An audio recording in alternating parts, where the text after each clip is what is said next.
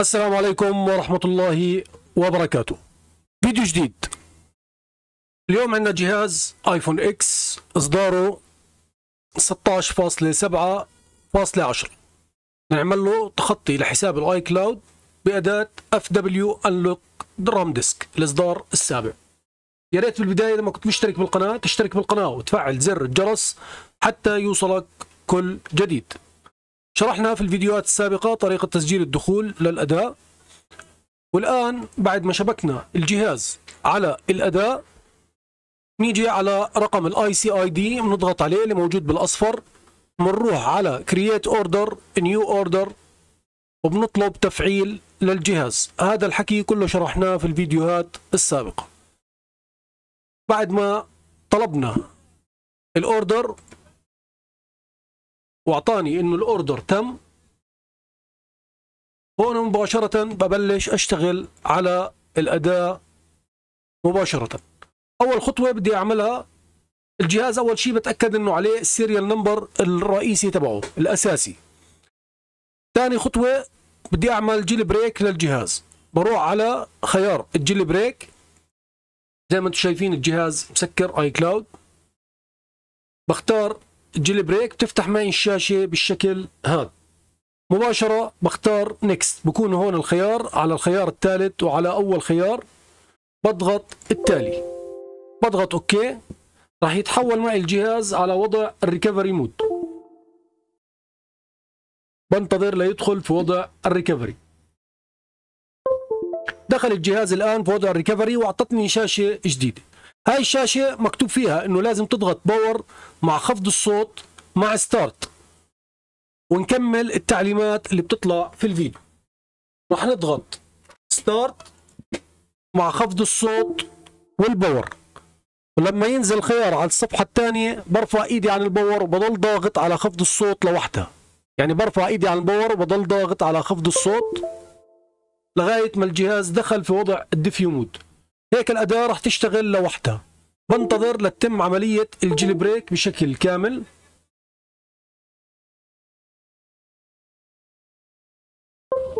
ننتظر لتتم العملية. زي ما شفتوا بلش ياخذ jailbreak الجهاز.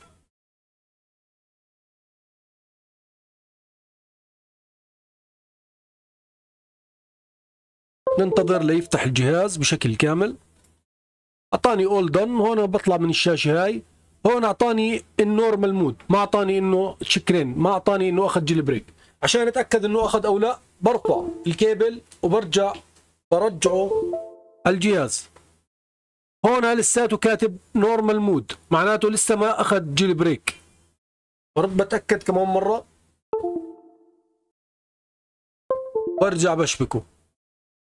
هي الجهاز هيك كتب إنه هو ماخذ جيل بريك يعني شلت الكيبل مرتين عشان يقرأ الاداء بشكل صحيح. لو أنت عملت أكثر من مرة وما كتب لك جيل بريك تشيكرين مود بترد بتعيد الجيل بريك كمان مرة. يعني ممكن في أجهزة بتاخذ من ثاني مرة مش من أول مرة. بعد ما أخذ معي جيل بريك مباشرة بضغط كويك وبروح على بتكون الشاشة عندك بالشكل هذا بتروح على الخيار جيل بريك 12 ل 17 تتوجه لهذا الخيار باي هلو باي باس وبتضغط عليه. فقط لا غير. انتظر جهازك ليفتح. نتأكد ان الجهاز في وضع التشغيل؟ هي بلش ياخذ في الملف.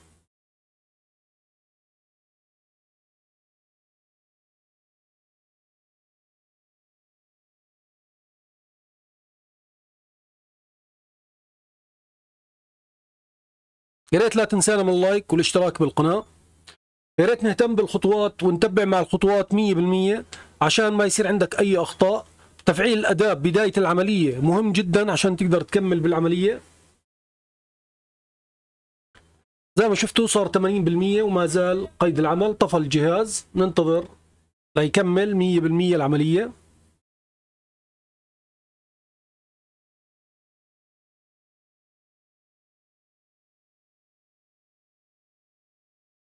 الشاشة اختلفت زي ما أنتم شفتوا. مع زالت 80% 90% 100%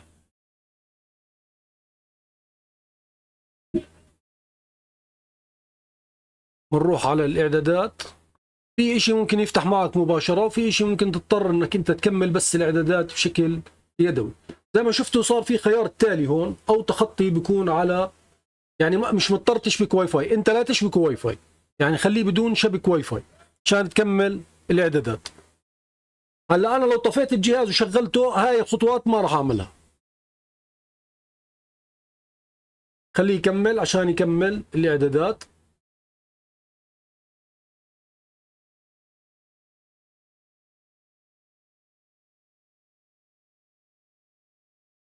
بدون ما أشبك واي آه في خط صحيح.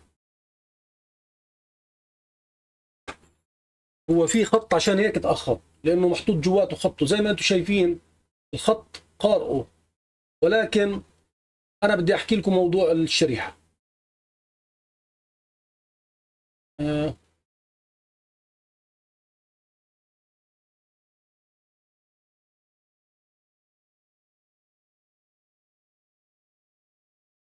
أحاول أعمل تجاوز لكل شيء. لو طفيت الجهاز وشغلته ما راح يطلب منك هاي الخطوات هيك زي ما شفتوا الجهاز فتح بشكل كامل. خلينا نطلع هون. وزي ما شفتوا هون ما بعرف إذا بكون واضح الشريحة قارئة. بعطي 4 جي ومعطي الشريحة. لو أجينا على خدمات الشبكة اللي هي بتكون بالرسائل لو أجينا حطينا هذا خط آه، أورنج لو حطينا نجمة ثلاث سبع واحد ثلاث سبعات مربع وعملنا اتصال آه، نجمة ثلاث سبعات مربع. راح يعطينا خيارات المزود زي ما أنتم شايفين. حساب يعني مسجات وأشياء زي هيك. هلأ بالنسبة للاتصال الاتصال فيه مش شغل. يعني لو جربنا نضرب على رقم ما بعرف إذا هذا رقم صحيح بيعطي فشل مباشرة. مع العلم إنه بيانات الشاشة الخلوي واضحة كاملة بشكل كامل مش زي التخطي اللي كنا نعمله مسبقا بيكون كل شيء متوقف.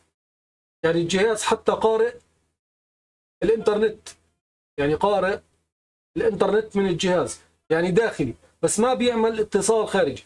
هاي طبعا هو المفروض التخطي يكون بدون شبكة.